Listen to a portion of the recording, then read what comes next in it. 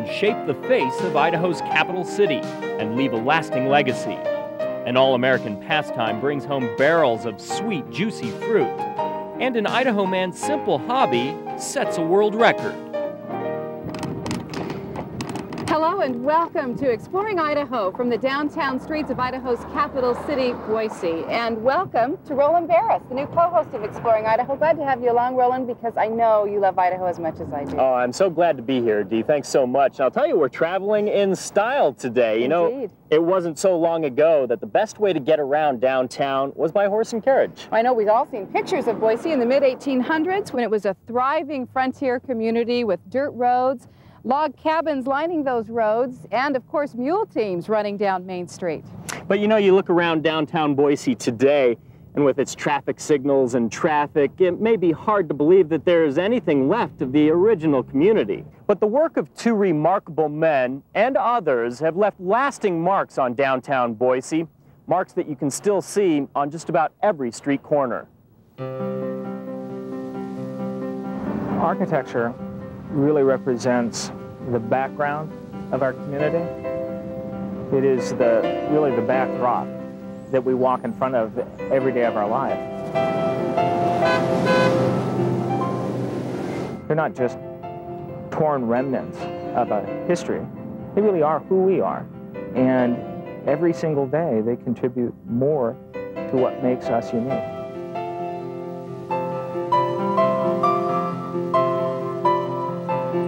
There is a lot more to a skyline than buildings and lights. Just ask Dean Gunderson of Boise State University's Department of Architecture.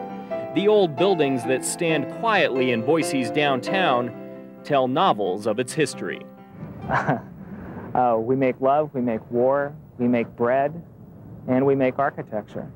And when a historian looks back or an archaeologist looks back, they look at the remnants of that culture to determine what was significant to those people. And the greatest of all artifacts is architecture. Boise began building its history back in 1863. That's when the Army chose the area for a frontier post, and the city was born. Log cabin homes were constructed from readily available cottonwood trees.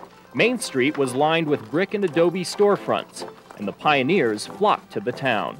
The gold rush in Idaho helped Boise boom and soon advanced the construction of a capital city.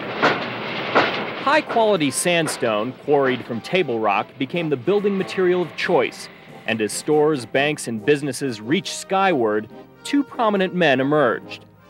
They were a charismatic and talented pair of architects who, around the turn of the century, would do more to shape the character of Boise than any architects to follow in their footsteps. They were John Tourtellotte and Charles Hummel. They weren't the first architects in Boise, but there have been architects here before them, but they didn't stay very long. I mean, they'd do one or two buildings and they'd leave.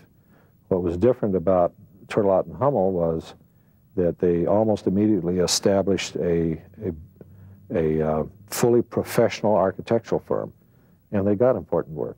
The grandson of Charles Hummel says one of the firm's first important commissions was the Union Block building. Constructed in 1900, the massive sandstone building used Romanesque styled arches, multicolored stones, and a well balanced design. It impressed the right people at the right time and led to bigger, better, and more profitable jobs. The calling cards of the Tourtellotte Hummel firm was the picturesque. In 1905, Tourtellotte and Hummel laid the cornerstone for St. John's Cathedral, an ornate Catholic church that would take decades to complete. Almost a century later, St. John's is still considered one of the premier buildings of Idaho. We step through here, you can start seeing the quality of light that comes through these, these brilliant blue and purple and gold windows.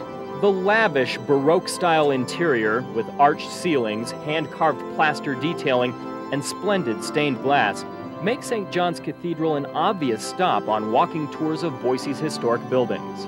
It was church architecture as propaganda. It was not just to celebrate communion, but it was to convince. Dean Gunderson leads the tours, points out the architectural effects, and explains how Tourtellotte and Hummel have made such a lasting impression in Boise. And there weren't that many architectural firms that could handle commissions the size that the city demanded. And uh, John Tourtellotte and Charles Hummel provided the, an excellent combination of the political and technical finesse needed to execute large commissions. Just after the turn of the century, downtown Boise had grown impressively, and Tourtellotte and Hummel, with a half dozen major buildings to their credit, took on the most important commission in the state. This is the Idaho State Capitol, and it was designed by the firm of Tourtellotte and Hummel, then just Tourtellotte and Company. The trend at the time was to model state capitol buildings after the national capitol. It was a style with complicated angles and difficult design techniques. Under the direction of Tourtellotte and Hummel, the building came together flawlessly. You can actually still see right underneath here, you can still see the tool marks of the finishing pieces. Right, under, right underneath this volute. Stone artisans carved massive sandstone columns with delicate details. Oh. Inside, marble and plasterwork rivaled the buildings of Rome.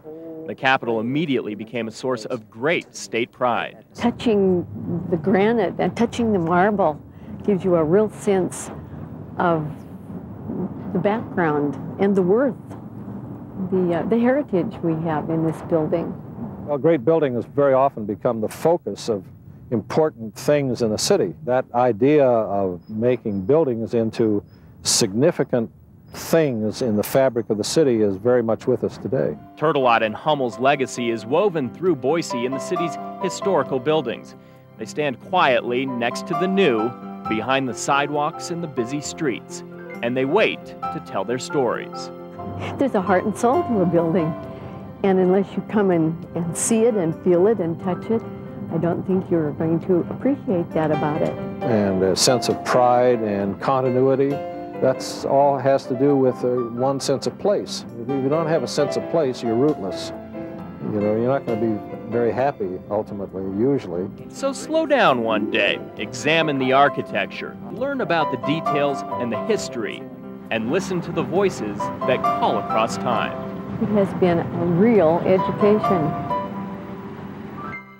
You know, Dee, architectural tours of downtown Boise are available through several different groups. So a little bit later on in the show, we'll tell you how to get in touch with those groups and set up a tour of your own.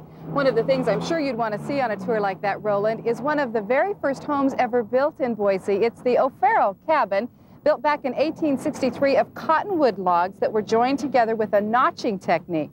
Of course, the porch above the cabin was built in recent years to protect the structure, and the O'Farrell cabin has endured. The place was built by John O'Farrell, a native of Ireland and an immigrant, back in 1863, as I said. That was the same year the Army chose to build a post at Fort Boise, and the same year the town was founded.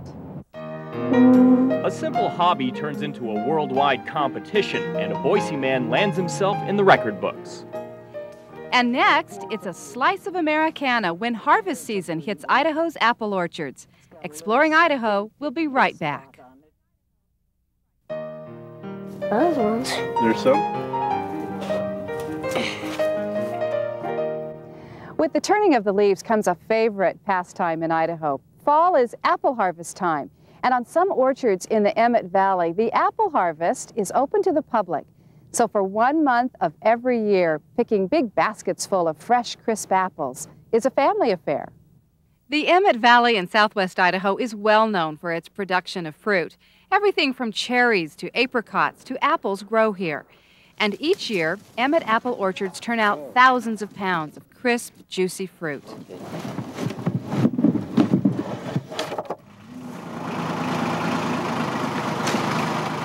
And while large commercial orchards supply grocery stores across the state, a smaller, different kind of orchard offers something more. Every fall, Pleasant View Orchard and others like it open rows of trees to the public. For one short month, all the regular varieties bright red Romes, crisp Jonathans, sweet red Delicious, and others are ripe for the picking. A lot of people do it. They can't wait for apple season, and then they just love to go out and pick apples. So.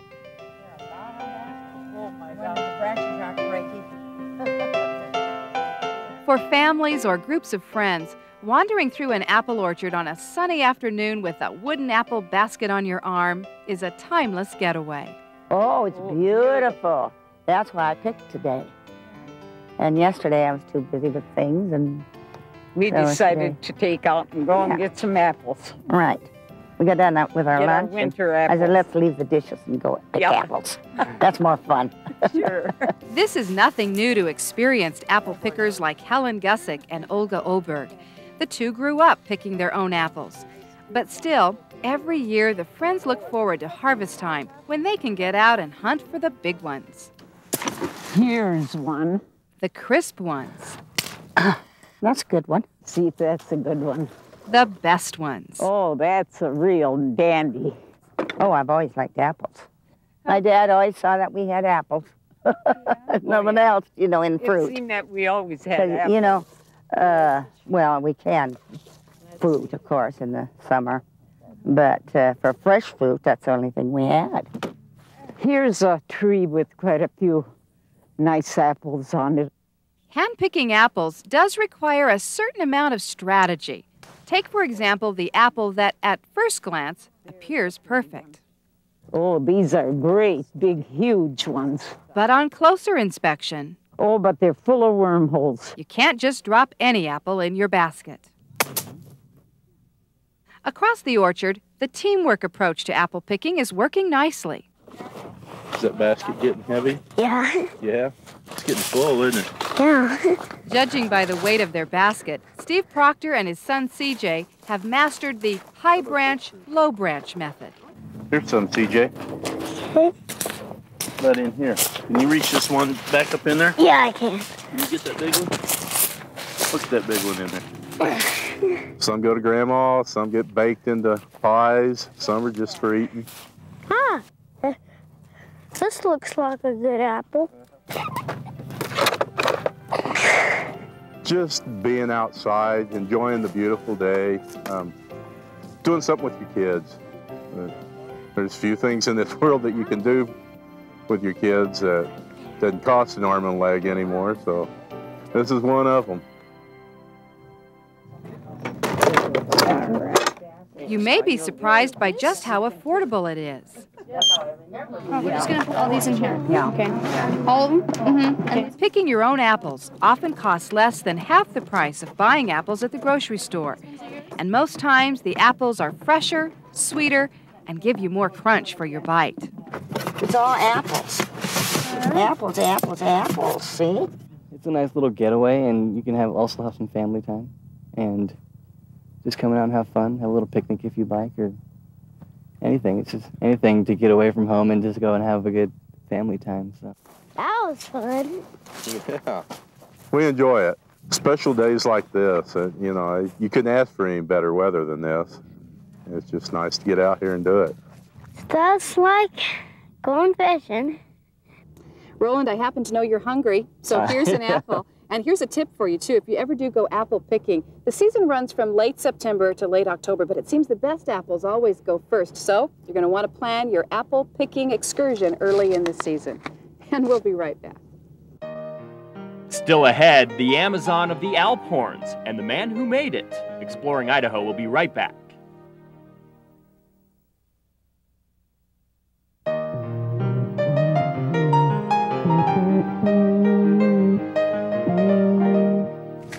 Roland, have you given any thought at all to what you might want to do when you retire? Not nearly as much thought as I probably should have, Dee, but I'll tell you what, I know it's a long ways off. Still, I think after so many years of hard work, I'd probably like to take time to just kick back and relax. Mm, I think most people would, but not the man we met recently. And Jennifer Eisenhart has his interesting story. Sometimes it's the most subtle suggestion that sparks the grandest plan. That was the case for a Swiss born electrician who had no particular plans when he sat down at his own retirement party more than 15 years ago. uh, fellows talking asked me what I was going to do now that I was tired. So also I hadn't really thought about it yet because it just came, it just just happened, you know. So one of the guys said, who, who happens to be a Swiss, that why don't you make Alphorns? The suggestion back in 1981 changed the course of Peter Wutherich's life. Okay, ready to go lay the string? Yeah. Pete, uh, he's one of the greatest geniuses I've ever known in my life. It's, uh, he's just fantastic. Vern Hickson understands what drives a man to push a small hobby to record extremes. After all, Vern started out playing garden hose and irrigation pipe. All my neighbors made fun of my parents because they couldn't afford a proper horn, they said. Today, Vern is the world's greatest performer on the world's least understood instrument. But most people have no idea what it is. I have to remind them of the Ricola commercial. For those who don't know, an Alp horn is a Swiss instrument. It weighs 227 pounds. I've got it tight. It's traditionally played by young men, high in the alpine meadows of Switzerland. Okay. We got uh, number 10 and 11. Number 10 about, and 11. About in the middle of the horn. The long tubular horns play mellow tones that echo off wooded hillsides. Now, this part we're carrying weighs 55 pounds. This is the big one. Down. Got to come forward. Okay, you're on. But traditional Swiss Alp horns do not require the use of hammers or string lines. And they rarely come in so many pieces. Okay, we need to move it over, Pete. Now, let me take a look. That's because traditional Swiss Alp horns usually measure a length of about six feet. That's better. It's 154 feet 8 inches. No one ever accused Peter Wutherichs of being traditional. Yeah. Which accounts for the string line, the hammer, and the helpers. I'm just a support lady. and brings us to the point of our present location. You see, 154 feet 8 inches measures out to 47 meters exactly. Or for you football fans, about 55 yards. The world's longest and largest. Fully assembled, the horn stretches into enemy territory at the hometown high school football field. I love to hear them played. They make really beautiful music. Yeah, what's your repertoire on this thing? Anything I know. Anything you know? Yeah, uh, the, this horn is long enough it will play any note, any key. Uh, it's just entirely up to the person playing it. I'll show you. Very easy. Can you go, can you buzz your lips? Go. But rookies and television reporters be warned. We've tried to teach others how, but uh, there are problems. Yeah, problems. But when a proven professional like Vern Hickson steps up to the mouthpiece,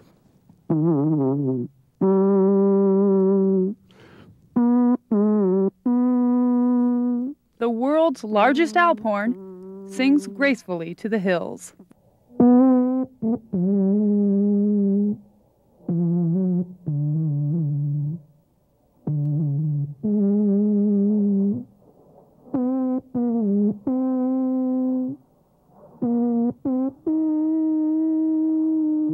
Doesn't take a lot of breath.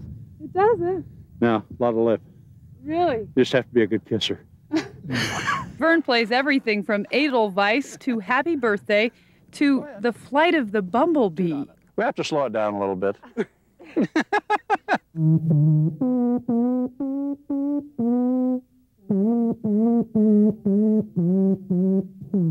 Whatever he plays, Vern makes it seem simple.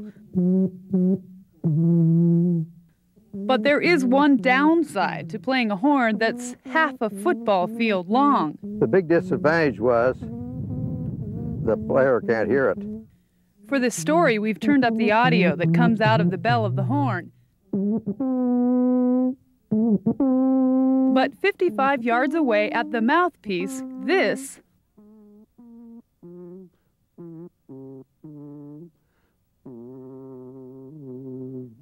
is all Vern Hickson can hear. I have no idea what's going on. I don't hear it. He's been doing this since 1984, and he's got so he just knows uh, what vibrations. I play what I hear in my head and hope it comes out on the other end okay. Whatever Vern hears, it's working. And Peter Wutherich's world record retirement project can play with the best of them. Interesting story. Thanks, Jen. And now for our Idaho Puzzler. Earlier in the show, we told you how Tourtellotte and Hummel designed the Idaho Capitol building with an interior of white marble. But not everything is as it appears. Do you know what parts of the interior are not made of marble and what they're made of? We'll have the answer when Exploring Idaho returns. Did you know the answer to our Idaho puzzler? The huge columns inside the Capitol building appear to be made of marble, even on close inspection. But the columns are actually hand painted in plaster. The effect, called scagliola, imitates marble so well most people can't tell the difference. Italian artists were brought to Boise to create the columns, which took several years to complete. Thank you for watching this edition of Exploring Idaho. And Roland, thank you to you. Great to have you on board. Boy, it's great to be here, Dee. Thanks so much. Looking forward to future shows. Me too. Really enjoyed also riding in the carriage today. Quite nice. a treat. And if anyone wants to take a tour of downtown Boise, the place to call is Capital Coach and Carriage. Roland, we'd like to leave everybody today with a look at the bright colors along the South Fork of the Boise River in fall. We'll see you next time.